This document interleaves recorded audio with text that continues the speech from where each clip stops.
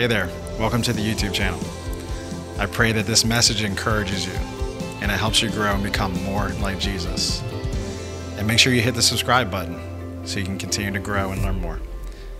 Enjoy. Um, I, I want to encourage you that if you're here today and uh, you have family or you yourself are uh, wrestling with the, the subject or the lifestyle of homosexuality, I want to encourage you just to hear me out today, to hear God out today. Uh, we just saying, we'll open up our heart. Would you open up your heart to what God has to say to you today? And I just want to encourage you to, to stick around, all right, and to hear God's heart in this message. Uh, the, the Christian church, we're going to hold on to biblical truth, but we're also going to, we're going to hold on to grace when we tell the truth. And, church, we need to do that. Church, we need to hold on to the biblical truth of God's word on a variety of subjects. But we also need to hold on to the grace and make sure we are delivering it with grace and love.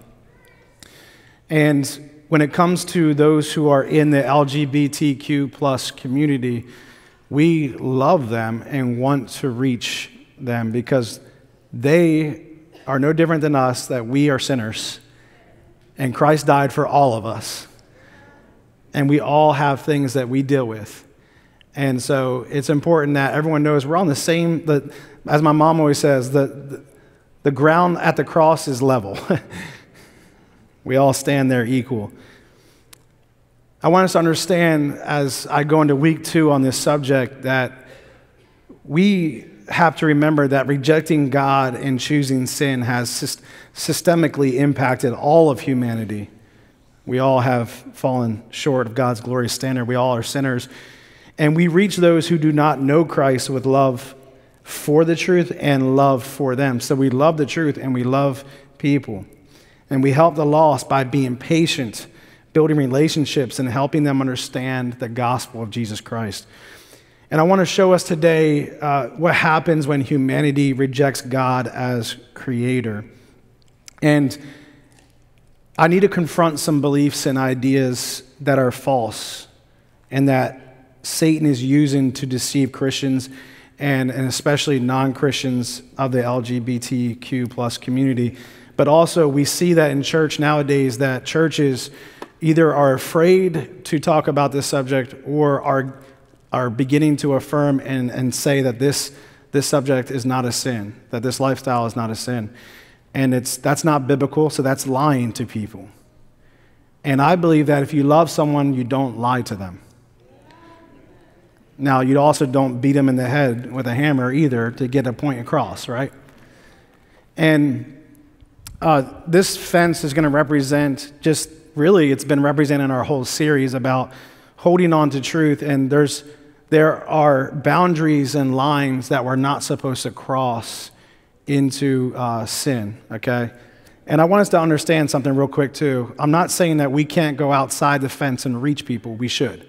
That's what Jesus did. When he ate with sinners, he would go outside the boundaries of things and go eat with people. I'm talking about morals. This is like a moral line, okay?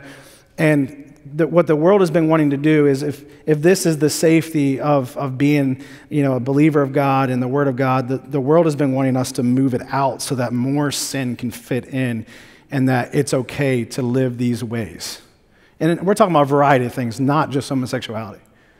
And so if we can make, if we can move the line, you know, maybe, maybe uh, everyone feels safe inside now, but God would say, no, you're still in sin and so the line, the, the boundary must stay right here.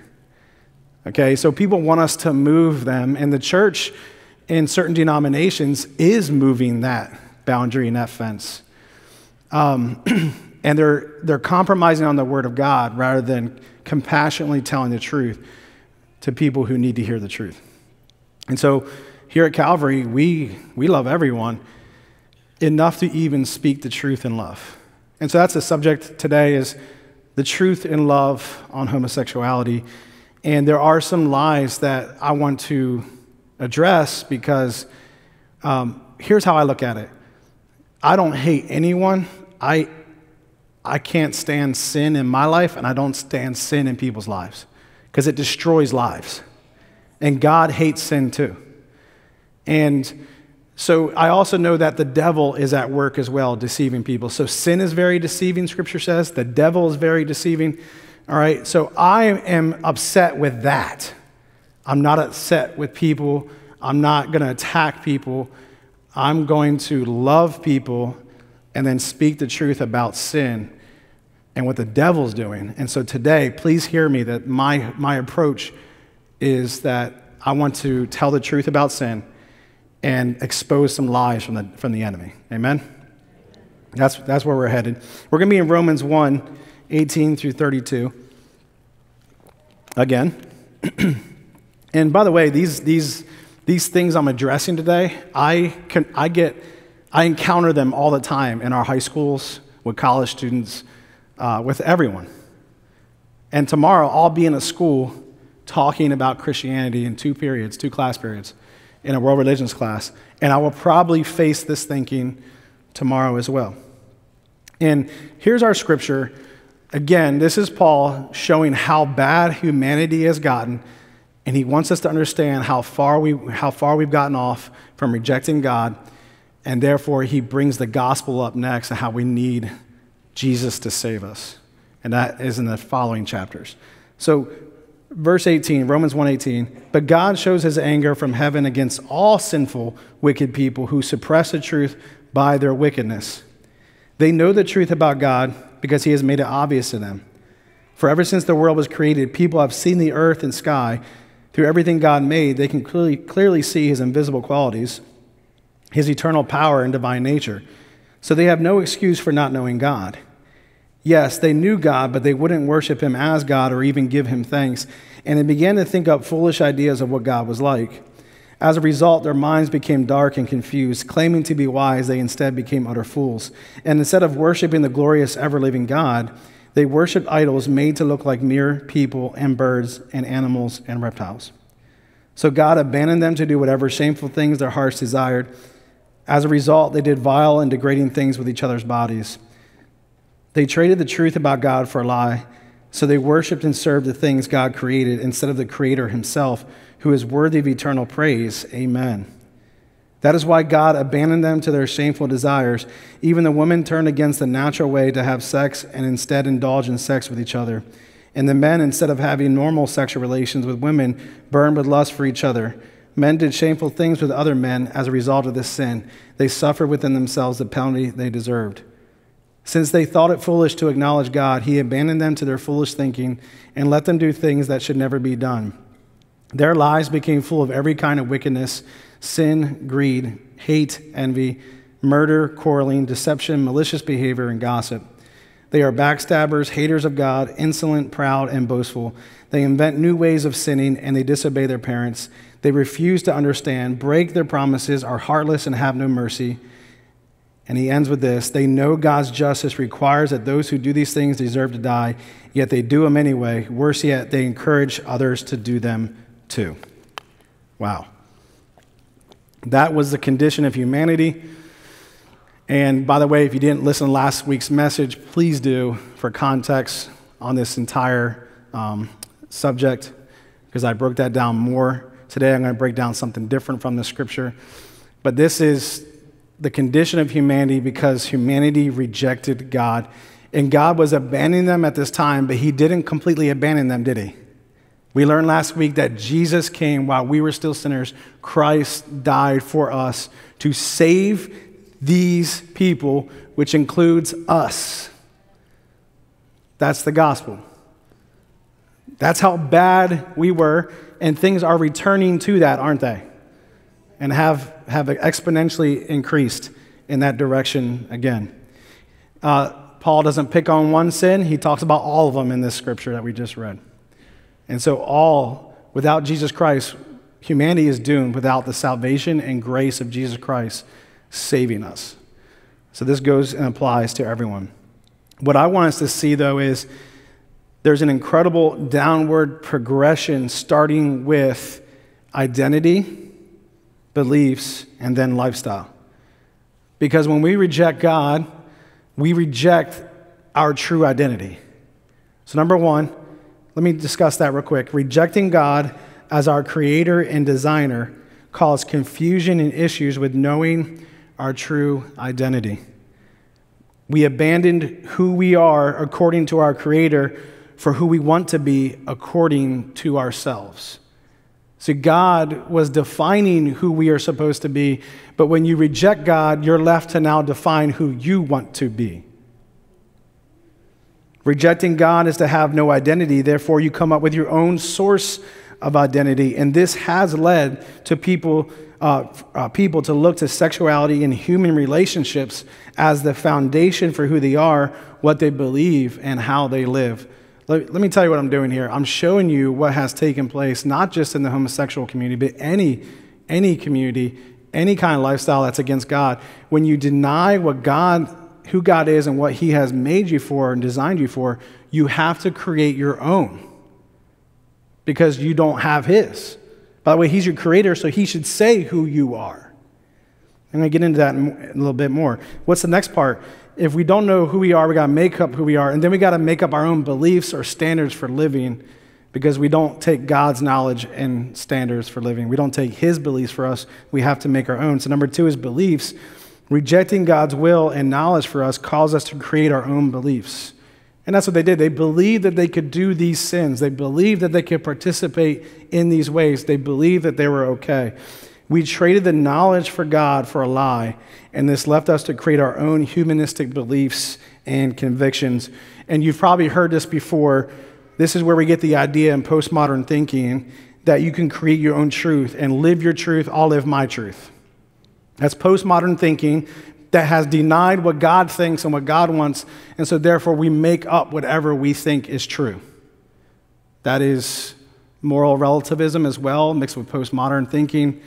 We do whatever we want, and you can do whatever you want. And so, lastly, oh, by the way, when it comes to beliefs in the homosexual community, this is where I'm, some of the things I'm going to address today. um, we've come up with beliefs that I was born this way. You can be gay and Christian at the same time. The Bible should change with the times. Love is love. If you love me unconditionally, you'll approve my choice. It's a little quiet and tense in here. Is that because we've heard these things? Again, I say this out of love. When we don't have an identity, we create our own. When we don't know what to believe anymore, we create our own beliefs. The problem is, it's humans creating these things. Who gets the final say of what is true and what is right? If we're all in the same equal playing field, it's got to be the one who provided all that, which is God. But we've abandoned that in humanity. So what we this is this is what I'm concerned of. My friends, my neighbors, anyone maybe in this church today who's uh, who's in this lifestyle, we have followed our own instead of God's. And so my heart breaks and my heart is concerned because I've seen what humanity comes up with. It's not that great when it comes to beliefs and identity and such. It's confusing. And lastly, there's lifestyle. The third point is lifestyle. Rejecting God's ways calls us to create our own ways to live, which do not honor and obey God. So, the identity and beliefs of our own liking, our own worldview, leads us to fashion our own lives around this identity and belief system. Uh, you, have probably heard this said, and I've, i deal with uh, apologetics and, and ministering to people outside the fence. Okay? I like to come out here and help people. And when I come out here, I hear people say, um, You Christians, you just follow a set of beliefs made up by man.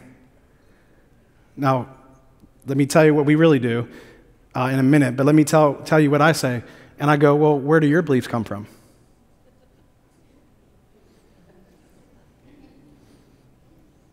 And those beliefs are from man. And then you create so you create a life around those beliefs, don't you? Because we get accused of creating a life just, you know, Christians have to live this way, and mankind made that up.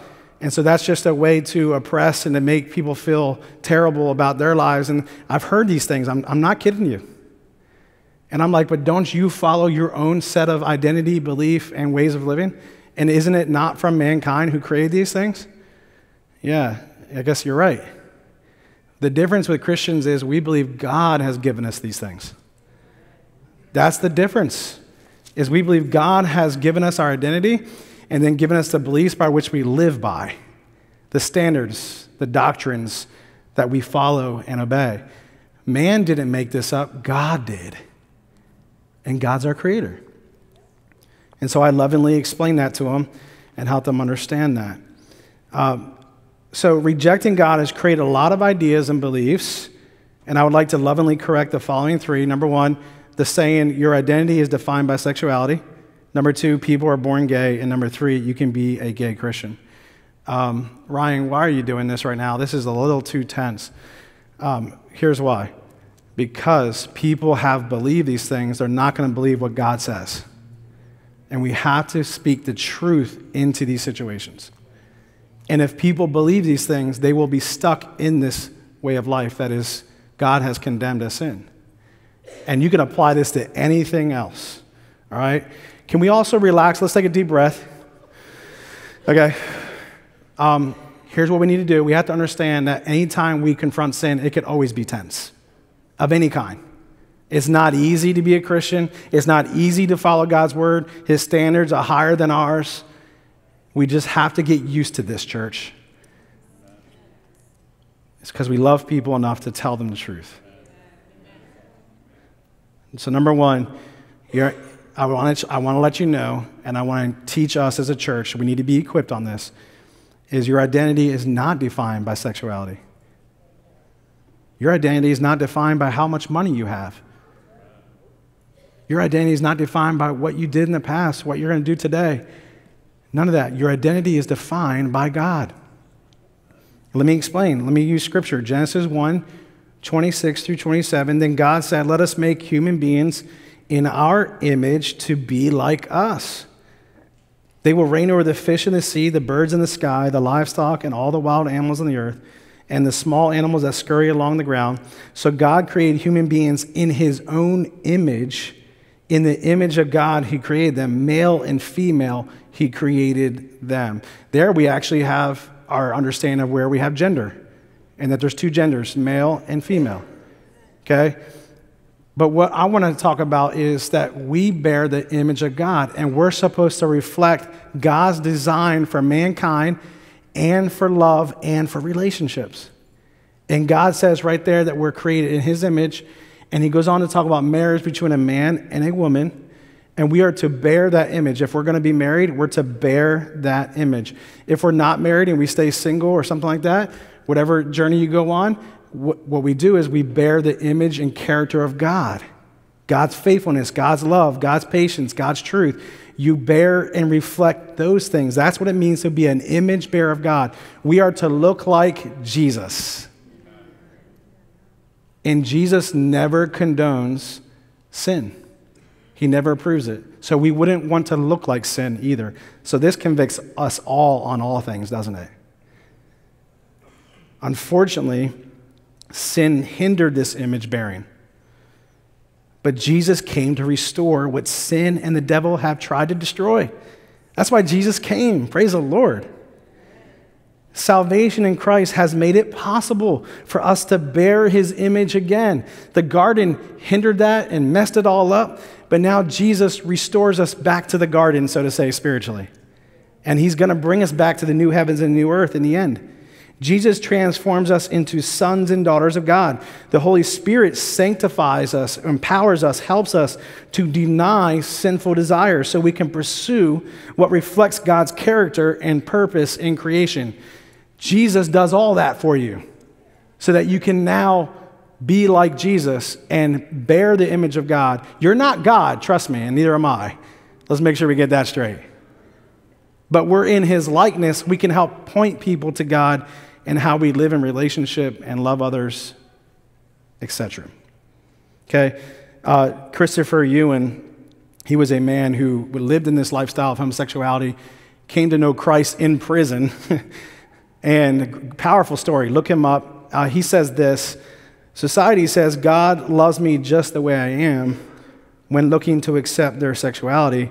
My identity should not be grounded in my sexuality. My identity is not gay or ex gay or even heterosexual for that matter. My identity is in Jesus Christ. Because Jesus was there creating us as well. Amen.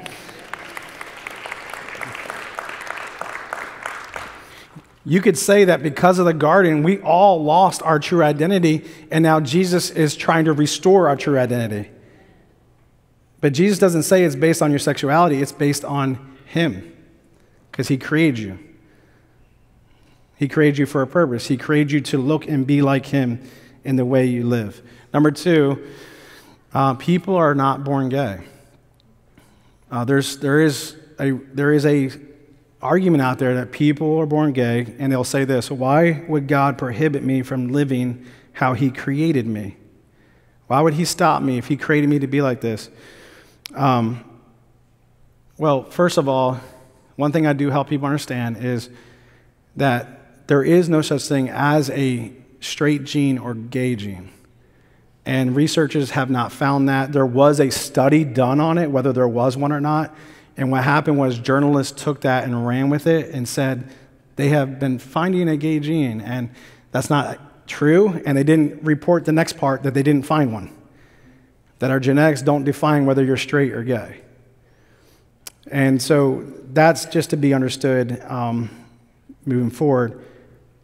You're not born gay, but there is an explanation for why you may be struggling with same sex desires. And I bring this up just in case anyone is. There may be a reason. Here's why we are born into a sinful and fallen world, we are born sinners and have the propensity or inclination for sinful desires due to our sinful nature that can lead us to act on those sins. But we are not designed by God and born to live a particular sinful lifestyle. When God made us, He said it was very good. It wasn't sinful, it was very good. And then because we sinned, now we've been, we've been hindered, we've been hurt, we've been fallen, we have a sinful nature. And so there is a chance that as a young person, as a young kid maybe, that you have felt those sinful desires of same sex attraction. That would explain it. We all sometimes have desires for sinful things, even at a young age. But it doesn't mean you were born that way at all. Um, here's, I want to make sure I read this word for word, because here's what I see happening. Our sinful nature that has the inclination and desire to sin, which is in all of us that we wrestle with with no help before Jesus, but now with Jesus, we have the Holy Spirit to help us. Our sinful nature or sinful nurture can cause people to have same sex attraction as well. The world we live in, tell me if this isn't true. The world we live in affirms and celebrates same sex attraction and relationships which lure, appeal, and reinforce our sinful desires. God never encourages us to fulfill sinful desires in Scripture. He says to deny them, to resist temptation. So, what we're dealing with is we all have this propensity and inclination to sin, even at a young age. And if we live in a society and a world that applauds sinful lifestyles, our sinful nature will be like, oh, I guess it's okay. And that's why we need Jesus to save us so that we don't give in to our sinful nature. Instead, we follow what God wants, what, what the Holy Spirit wants. And that goes for all of us, no matter what you deal with with sin.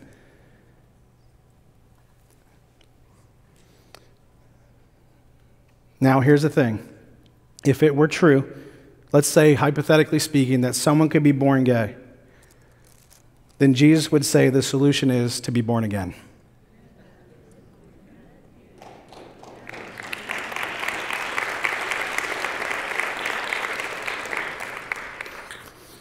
if someone was born a sinner, like all of us, guess what we have to experience? Rebirth, spiritually, to be born again. If someone were born, and let's say you could be born a certain way, uh, and you, are born a murderer, a liar, a cheater, adulterer, then guess what I would tell you? Same thing I would tell someone that, is, that, is, that says they were born gay, I would say to that person, I would say, then you must be born again. What does that mean? Let's look at what Scripture says in John 3 through 6. Jesus replied, I tell you the truth, unless you are born again, you cannot see the kingdom of God. What do you mean? exclaimed Nicodemus. How can an old man go back into his mother's womb and be born again? And Jesus replied, I assure you, no one can enter the kingdom of God without being born of water and the Spirit. He's referring to the Holy Spirit in both terms. Humans can reproduce only human life, but the Holy Spirit gives birth to spiritual life. And when God changes you on the inside spiritually, He changes your heart and desires for everything else in life.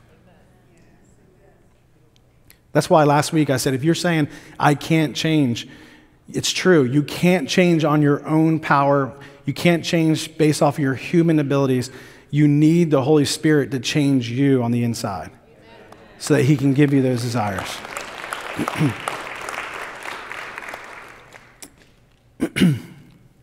Next week, we're going to hear a testimony of someone who's been changed from the inside out, and because of that, it has changed her lifestyle.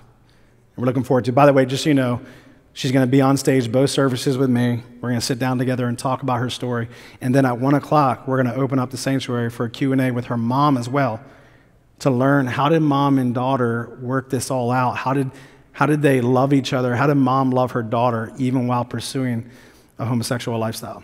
So come back next week and stay for the one o'clock uh, q&a time open forum it's going to be really powerful i think we're going to have coffee and snacks just to help hold you over till lunch sorry eagles fans i know the game's at one o'clock. You know i looked it up so. This is more important. So i think i heard some eagle fans go so no, i know they care. Um, when we are saved or born again, this is what happens. God transforms us into a new creation, giving us the Holy Spirit to have new desires and power to do what pleases Him. That's 2 Corinthians 5:17, that's Philippians 2:13. Being born again restores you to your true identity, a new creation, a child of God. It's Jesus bringing you back to where you're supposed to be. We're not perfect, but He works on us until the day we die or He comes back. We are taught by God not to give in to our sinful desires or they give birth to sin and death. That's James 1 13 through 14. We are taught to no longer conform to the pattern of this world, the influence of nurture around us, the sinful nurturing that says, do these things. We're told no longer conform to the pattern of this world, but be transformed by the renewing of our minds. Romans 12 1 through 2. How do we do that? By obeying the word of God. John 17 17. Let the word of God sanctify us. His word is truth. So God had a plan. When He was saving us, He had a plan to change your heart and mind towards sin and to help you do what pleases God. He had a plan. But you can't change your lifestyle or your ways without Christ coming into your life first. That's why we preach the gospel and, and encourage people to be saved so that you can overcome this world and sin. And lastly, uh, gay Christianity is unbiblical. We can't be gay and Christian. Now, take this from Rosario Butterfield. She also was someone who lived in this lifestyle. She walked away from it because she found Christ. Do you know how she found Christ? A church opened up their home once a week or every week for Bible study and dinner. They invited her to come, knowing that she was a practicing homosexual. They invited her to come, and they loved on her and ate with her. Sounds like Jesus, doesn't it? Well, eventually she starts singing the songs that they're singing, reading the Bible, praying. They did not indoctrinate her, they did not brainwash her. She said God began to work in her heart. And she gave her life to Jesus Christ. And she was a doctor, a professor. And now she travels the nation and the world speaking on this subject. And she's very bold, by the way. You can look her up, Rosario Butterfield. She's on YouTube. Her story is out there she goes and she tells you the truth. And let me give you an example of what she says. She says, Gay Christianity, whether a person is sexually active or not, is a different religion from biblical Christianity. Gay Christianity adds things to the gospel. And then she says this the idea that gay is who you are comes from Satan. Gay is not who you are, even though you believe it represents how you feel. If you believe that gay is who you are, it is impossible to war against your homosexuality as a sin because this sin has morphed into other areas. In other words, you can't separate the two now. If you believe you're a certain way and Christian, now you can't address that sin because it's become who you are. So that, that's, you know what that is? That's the, the sin that easily entangles. And now you can't separate a sinful lifestyle from a Christian lifestyle. That's what people want us to do as Christians is say it's okay to be gay and Christian. And the Word of God never says that. The Bible never does. Here is someone who lived a lifestyle for years and is saying that is not true. That's a lie from Satan. And she's saying this honestly because she loves people. This belief seeks to marry the world with God, and they are two different kingdoms. She says this there is no dual citizenship in Christ. A Christian cannot have one foot in the world and one foot in Christ. it's hard life, too, isn't it? to be faithful to God, but it's, it's safe. And it's what God wants. So how do we how do we love people? How do we love? How do we love people that are that have been struggling with um, same-sex attractions? How do we love people who believe some of the lies that Satan has created ever since we've rejected God? He's been busy creating beliefs and humanistic philosophies that people have fallen for. By the way, we read, we read scripture a few weeks ago that there is teachings taught by demons. I'm not calling anyone a demon, I'm just saying teachings taught by demons. Okay? And the devil's behind a lot of this false stuff, or all of it, right? He's the author of falsehood and lies. How do we love? Well, I've been already loving right now by being real and honest, by saying that none of those beliefs are biblical. And I've been correcting them because I love people. And I want parents and families to know that too, so that you're not careful to condone these beliefs that are actually unbiblical completely. So, how do we love? Friends, parents, church, what should we do? And I'm going to talk a lot to parents, but let's try to apply this in every way we possibly can uh, we show compassion and care all the time without condoning or celebrating sin. You can love someone without applauding what they're doing that's evil or wrong or sinful. You can love them. You can be there. In fact, 1 Corinthians 13 is my guide, 4 through 7.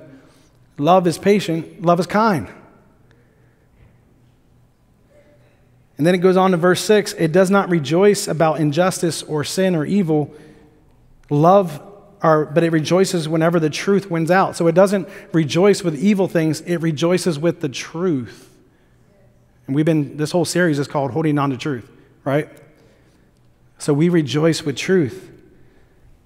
Verse 7 Love never gives up, never loses faith, is always hopeful, and endures through every circumstance. Parents, you better stick by your kid, but you cannot say you're okay with their lifestyle. But you can always be there for them and love them. But anything that calls you to now be in agreement with them, that sends the wrong signal about the Word of God. So you can love. One, one writer who used to live in this lifestyle said, uh, We can be compassionate without compromise. And we have to learn that. We have to learn when it's too far and I can't say okay to that, or I can't, I can't say that I'm okay with that. So, secondly, do you know how you love people? This one's, this one's not very popular. We disagree. Wait, what, Ryan? Pastor Ryan, are you, are you kidding me? You want me to disagree with my kid who's already upset with me?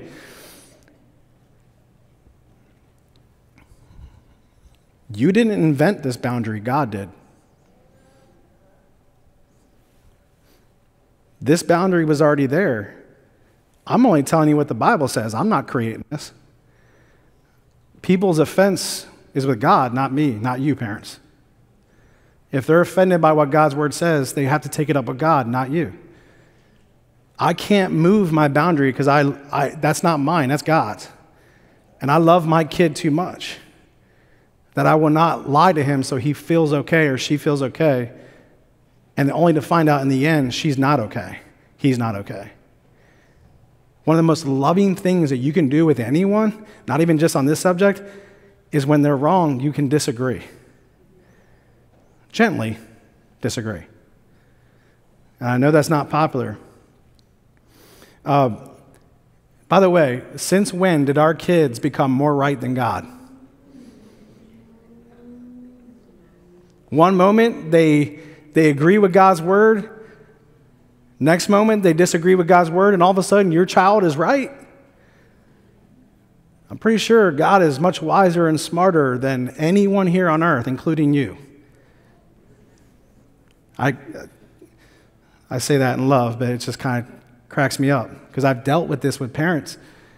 Is just like that. What about unconditional love? You have to unconditionally love me. That's more like saying nowadays, you have to unconditionally accept everything that I want to do. That's really what people are saying. Uh, Christopher Yuan says this, the same one I was talking about earlier unconditional love is not the same as unconditional approval of my behavior. I'm always going to love my kids no matter what, but I'm not going to approve their behavior. I'm always going to be here if they need me, but I will not approve of things that are not of God. If my son was a thief, okay, and he's not, but if my son was a thief, everyone's like going to start dodging him in church when they see him. If he kept stealing from stores and restaurants and things, do I go, hey, I have to unconditionally love him? No. I would need to correct him.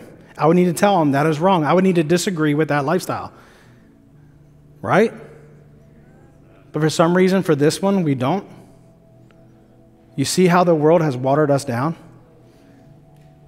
Because they use love. But God has not said, God, God says you can love. Love is patient, love is kind. It does not rejoice with evil, it only rejoices with truth. That is love. See, the world's trying to redefine love to be something different so that every sinful thing we do can fit in. Let's move, let's move this out. You know, let's use love as the way to get people to feel bad. Let's make my parents feel bad for standing up for what is true by saying, well, that means you don't love me. Parents, are you hearing me today? I'm speaking some truth today. I'm trying to strengthen you today. Okay, I'm trying to strengthen you today. Hey, pick, pick whatever sin God prohibits. We need to stand our ground because it is a slippery slope and easily entangles people. So I don't care what sin it is. We need to be honest and disagree with our kid and show them the way. And by the way, if people are going to preach unconditional love, then they have to apply it too. That means that they have to unconditionally love you if you disagree. Pop, just pop that bubble. That false, see what I'm saying? That false teaching is tricky, isn't it? Because you, you will feel bad for not loving someone unconditionally, but now they shun you and call you a hater or a bigot because you didn't love them unconditionally. Well, wait a second. I thought we were going to love each other unconditionally. Now, thankfully, I've run into people that don't do that, that are in the homosexual lifestyle, and they go, Hey, Ryan, I respect your beliefs, and, and I, I respect that you're making that stand. I won't, I won't disagree with you on that. Uh, they disagree, but they won't fight me on it. And I go, well, thank you for that. That means you unconditionally love me. I appreciate that. So it's, it's out there, thank the Lord.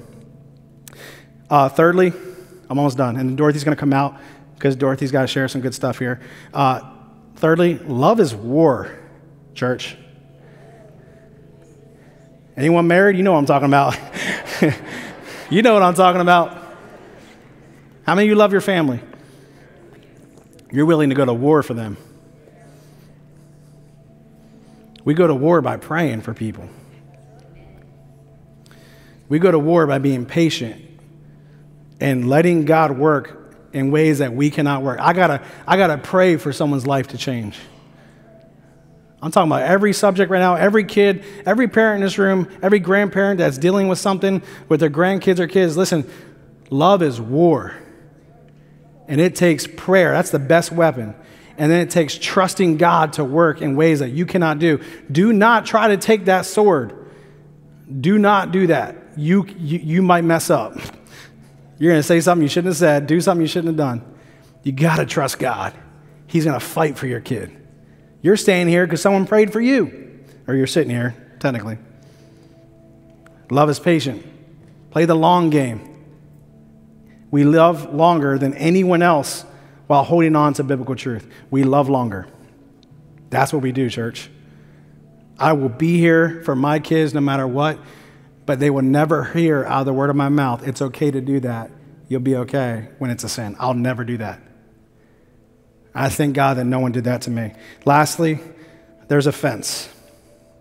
Don't put this slide up yet. Just hold off on that slide. There's a fence. And this fence does represent a standard and boundary placed by God. And this standard helps us know what is sinful and what is righteous or holy. This fence has become offensive to many because of what it prohibits them. But again, God did it for our good. But we've been influenced as Christians to move the fence out so things that were once called sin can be welcomed and considered good. But we didn't write these standards or put this boundary in place. God did. God doesn't get it wrong. We do, church. Humanity got it wrong.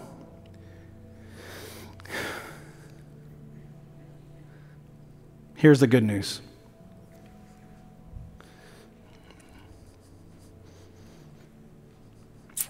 There is something that shows us whether we've gone too far or not. And there was research done on this where children were playing on a playground with no fence. And they stayed around the playground because of the safety and the traffic around the playground driving by. But when they put a fence up, they all of a sudden ran to the barriers of the fence and began to enjoy the entire land, the entire, the entire part of the property.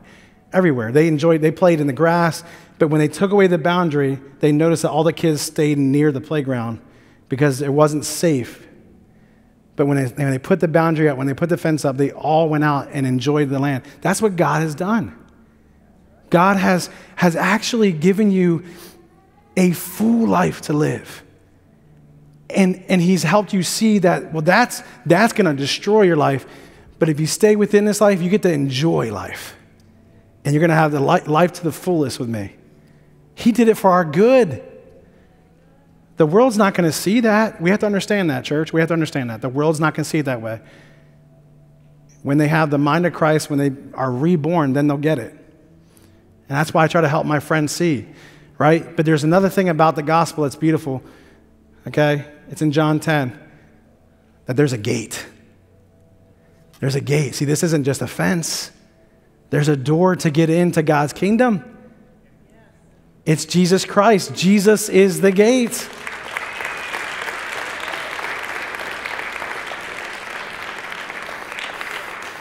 The world sees this. The world sees this. This is all they see a barrier, a wall. You know, we, we I guess, you know, apparently we hate them, we don't love them. That's not true. Jesus has made a way. And by the way, this is what Jesus would do, my friends. Jesus would walk out here and go to people. Jesus would go seek and save the lost. He wouldn't join in out here. He wouldn't participate in their sin. He would never pat them on the back for their sin. But he would come out here and he would reach people, and so do I. And church, we need to as well. We need to as well.